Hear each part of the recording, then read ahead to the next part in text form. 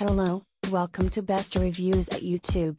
This item has a rating of 5.0 out of 5 stars. A customer wrote, Best tweezers I've owned. The point even gets fine small hair and brows.